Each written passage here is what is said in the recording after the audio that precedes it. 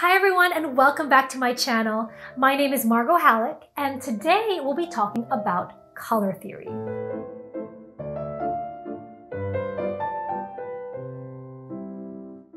Color theory sounds like a really academic, kind of scary term, but essentially it is just the understanding of how colors are made and mixed with each other to produce other colors, and how they can be paired together to create beautiful and harmonious results. If you've ever been to a museum or seen your favorite artist's work, sometimes you'll wonder how is it they put together these beautiful color combinations? Well, the answer to that is color theory. So what I'm going to teach you today is essentially what I learned when I was in design school, but also something that I've employed and I use every day with my own art. And I find it a really great tool and skill set to have in order to be able to make quick decisions and um, be able to choose colors that I know will always work really well together. So let's dive in. So first things first is we're going to do a color wheel together.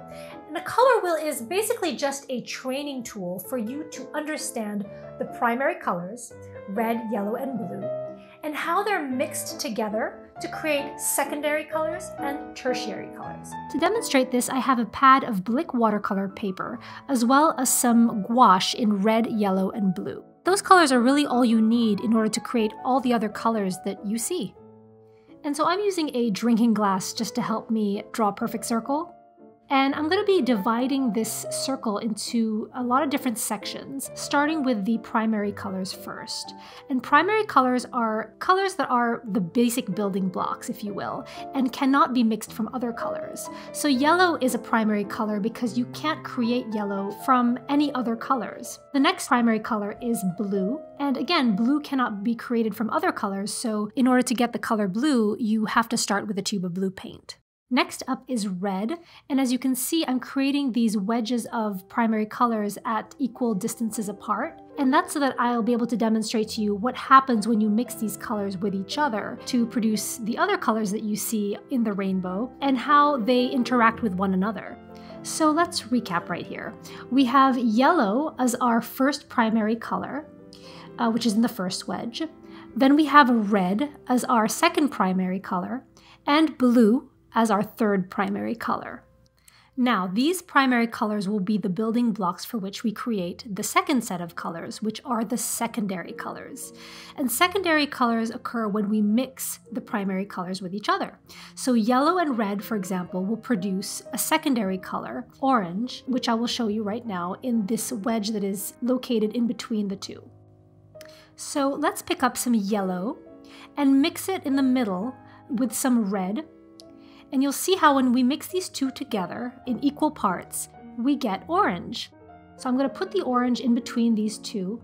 So we now have our first secondary color, which is orange.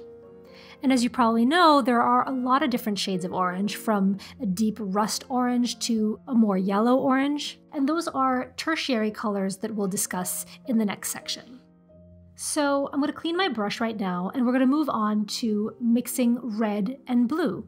I'm going to pick up some blue and bring it to the middle of my palette and pick up an equal amount of red. And as you can see, when you mix them together, you get a gorgeous shade of purple. And the trick here is really to mix them in equal quantity because any deviation from that will result in a different color altogether. So here you can see in between red and blue, in the middle wedge right at the bottom, I've added my purple swatch. And now our second secondary color is purple, which is the product of the mix between red and blue. And last but not least, we're going to create the third secondary color, which is the mix between blue and yellow. So I'm going to pull some blue paint and some yellow paint and mix them together, again in equal quantities, and we get a nice vivid green. So let's add it to our color wheel right now. And as you can see, we're, we're close to done with this. All we need to do now is to add our tertiary colors to have the full color wheel completed. I'm going to label these now so that we can easily reference them. And I'm going to draw a line outwards so that we know that these colors are our secondary colors. And I'm going to label them with um, the names, which are orange, uh, purple or violet, if you will, and green. And you may be wondering why we're doing this exercise and it kind of feels like a preschool exercise or something, but I assure you that this will come in handy when we start discussing uh, the details of color pairings.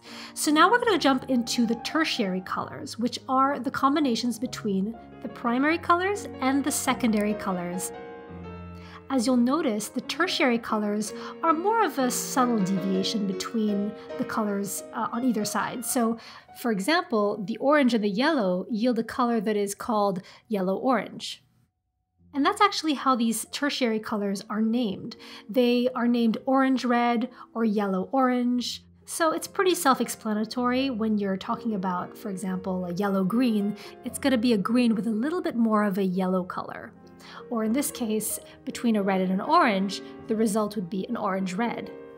So let's continue filling all of these in. So right here we have the red violet, and then we're going to jump to the violet blue or blue violet, which is um, kind of, we also call it an indigo color, uh, after the name of a pigment called indigo. So it's a more night sky or midnight blue color between uh, blue and violet. Next up, we have blue-green, which is also commonly known as a teal color. And so we're to add that right here. And I really love tertiary colors because I find them to be very rich and complex, and they're really some of my favorites. And then here we have yellow-green, which gives us a very vibrant uh, lime green. I'm going to label these tertiary colors now by um, adding some lines that extend a little bit further out to demonstrate that these are further away from the primary colors. And so I'm going to add the labels to each one of these lines. We're going to start with red violet or violet red. The names are interchangeable uh, as our first tertiary color, followed by red orange, which is a deep fiery orange.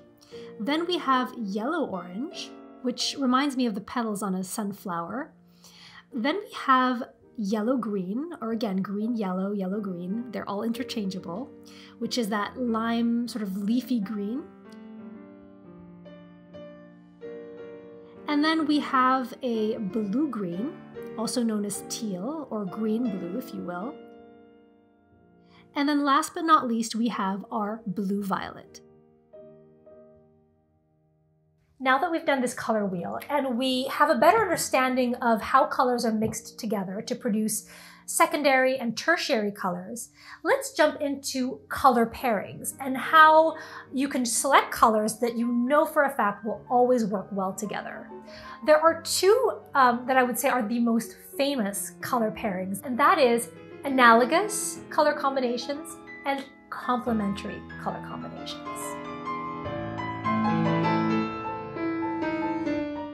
First that we're going to start with is a analogous color pairing. An analogous essentially means that the colors are next to each other on the color wheel. So when we were doing the color wheel and we were creating wedges that were right next to each other, so for example, the yellow, the yellow orange, and the reds, those are what's known as analogous colors. They're colors that sit beside each other on the color wheel. So right here, I am painting a couple of swatches in those analogous colors. So I've got yellow and orange and red and essentially any other colors that are sitting next to each other on that color wheel that we created. And as you can see here, it creates a really lovely set of colors that work together really beautifully. And that's because they share a lot of the same base colors. And so now that we've tried that with our yellow and orange, let's try it again maybe with a green and blue combination to see how that looks. So I'm starting with a blue straight out of the tube, and then I'm going to be mixing some iterations of blue-green, as well as some greens as well, to show how that comes together in a really lovely and harmonious way. And I think analogous color combinations are among the easiest to mix because it's really just a very set recipe to always get a color combination that works really well. And as you can see here, from blues to greens and everything in between, they're colors that are all adjacent to each other on our color wheel. Here are examples from my collection of pieces with analogous color combinations.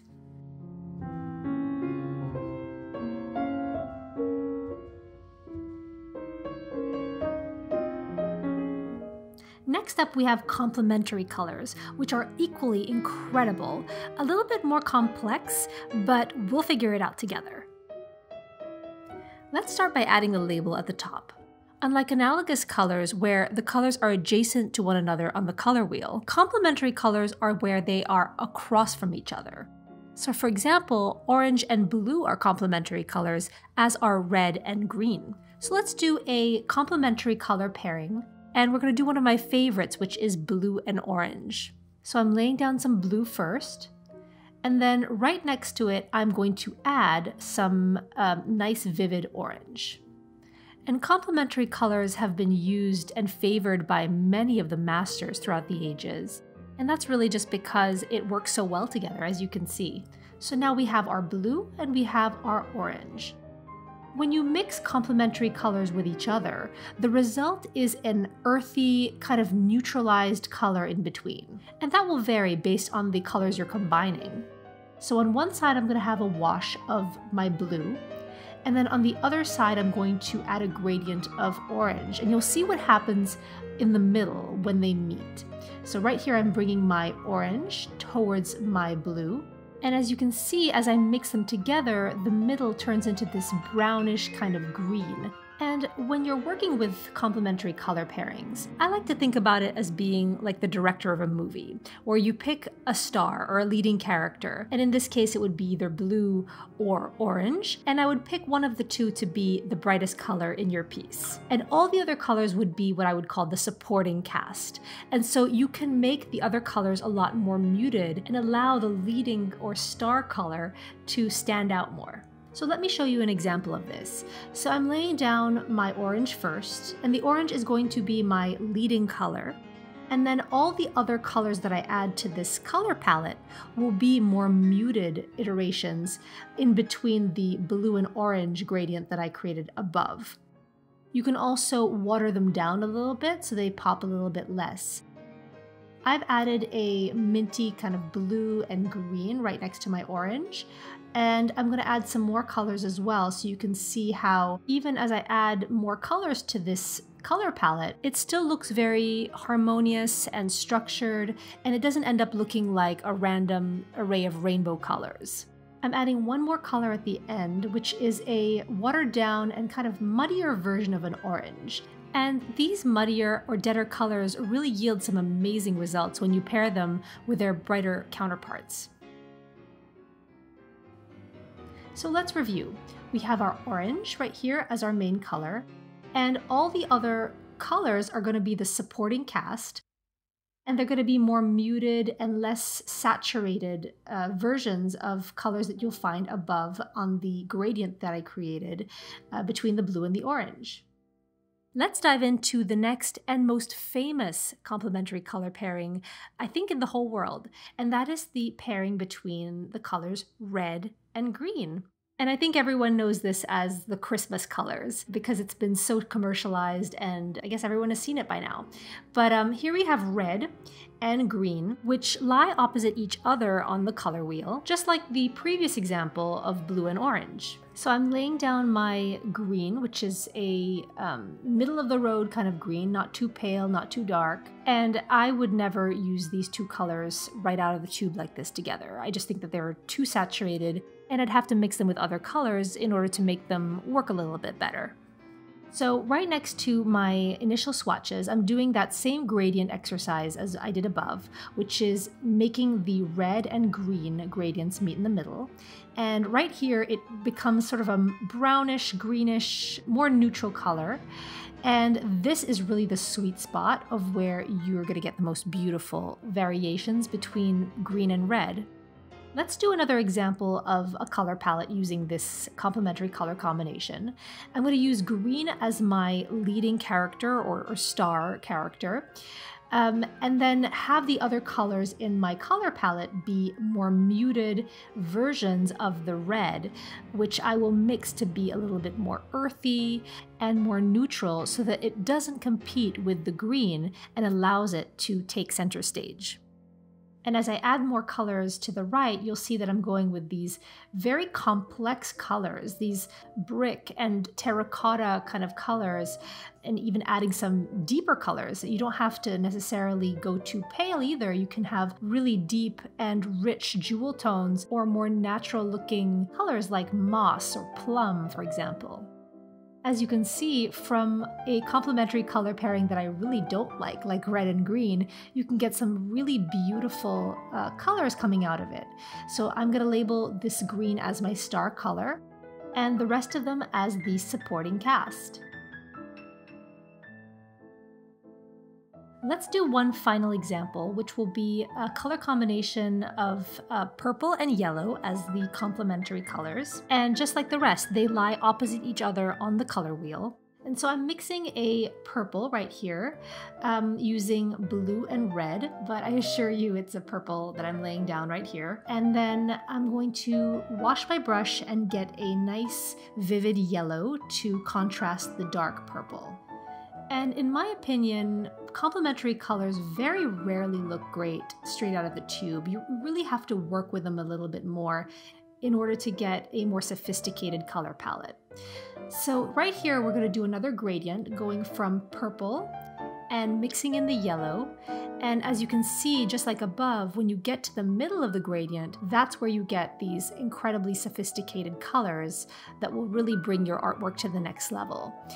And so you don't have to create a gradient when you're working, but just be aware when you're mixing colors on your palette that mixing in a complementary color will often give you a more interesting and sophisticated color. So let's work on one more color palette, which is based on yellow and purple, and use yellow as our star uh, leading character. And so the other colors that I'm going to mix in here are going to be watered down or more neutralized instances of either color. So right next to the yellow, I have this very kind of grayish purple. And next to that, I have sort of a dusty marigold and earthy browns that have a little bit of a purple undertone to them. And so these make for some really interesting and unusual color combinations that will definitely help elevate your art to the next level. Let's wrap up these swatches by labeling them with um, the yellow as the star and the other colors as the supporting characters. And again, here are some examples from my collection of pieces that I did with complementary color combinations. So you can see here there's yellow and purple, which is something that we reviewed together. And in this fun mermaid piece, it's basically a take on the red and green complementary color combination. So there you have it. This is basically all you need to know about color theory if you're starting out. The more you bring this into your daily practice, the better you'll get and the more second nature it will be. So if you have any questions, uh, leave them in the comments below. Don't forget to subscribe if you like this video and I will see you next time. Thank you so much for watching.